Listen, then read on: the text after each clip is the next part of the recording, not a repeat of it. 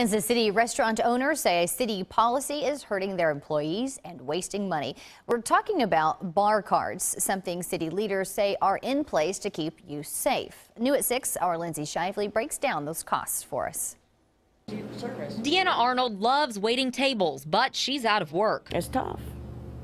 It's tough. And when a Kansas City job came up, I turned it down. I didn't have the $42.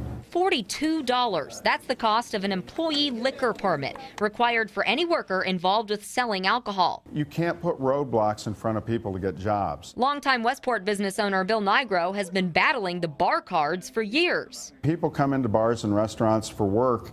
They're penniless. What am I paying for? It's all about public safety. Jim Reddy says about half of that $42 pays for a nationwide background check to keep certain felons out. A sex offender serving drinks in a liquor establishment makes about as much sense as a child molester working in a daycare.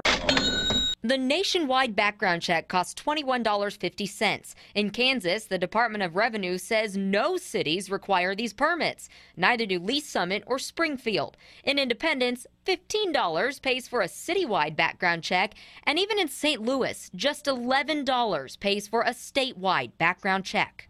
I know for a 100% fact that when we do, we used to do the exact same check St. Louis did, we had convicted felons working in our city.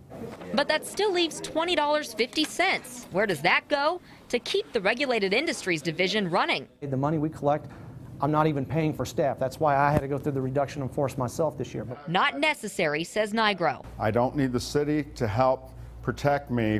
Lindsay Shively, 41 Action News.